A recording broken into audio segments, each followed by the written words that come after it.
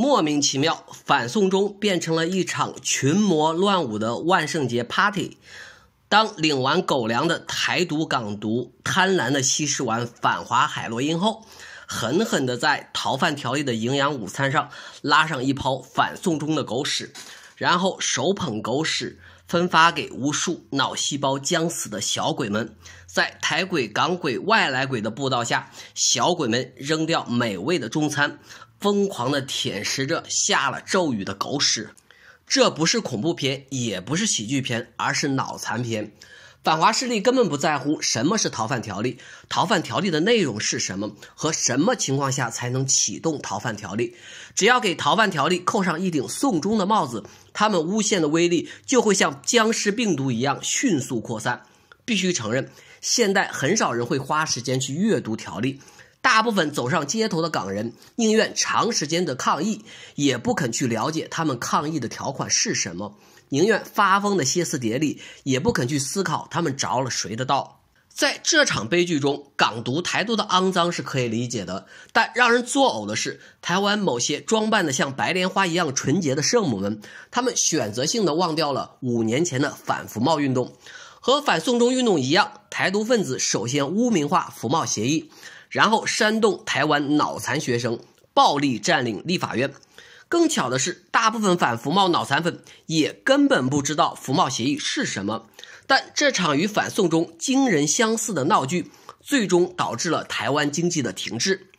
因为之后大陆与韩国签订了自贸协议，韩国人很快占领了大陆优先礼让给台湾的市场。如今，那些曾经参加过反服贸闹剧的学生，大部分都开始品尝自己种下的恶果。不过，煽动暴力的小绿头们日子过得却很惬意。除了后来跨国卖淫的反服贸女王外，连喜欢性骚扰的反服贸小头目，都已经成为了可以糟蹋台湾纳税人钱财的政坛小丑。在白莲圣母的心中，台湾的法治远远比大陆甚至香港可靠，所以香港的逃犯引渡条例一定是反民主、反法治的。美国可以随便找个理由到香港引渡被美国认定的任何罪犯，但大陆却无法引渡一个被香港独立司法机构认定的重刑杀人犯。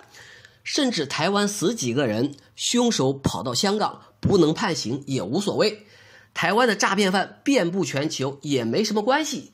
他们会像圣母一样保护着罪犯的权利。不要以为这些圣母真的那么高尚，因为受伤的不是他们，他们也不会为香港和台湾的治安背负任何一丝良心上的责任。既然白莲花们这么迷恋台湾的法治，让我们简单欣赏一下几个台湾的司法案例。十年了，超级巨贪陈水扁。依然没有还法律一个公道，还每日指点江山，游戏人生。官商勾结的庆富案让台湾损失一百四十八亿新台币，嫌疑人还能在民进党的配合下成功消失。陈局秘书赵家宝因贪污被判刑，逍遥法外近五年，还能和陈局脸书互动，和议员私下会面。台湾司法都成了瞎子，还有弊案缠身的谢长廷、陈菊，丢失巨款也不报案的苏贞昌，哪一个不是混得风生水起？这就是台湾的法治吗？我不相信你大陆的制度，司法制度。我我说了，他有有一百七十个国家，他为什么不不不这个？大家发动游行不会叫反反送台、反送日、反送美、反送什么？为什么叫反送中？香港当。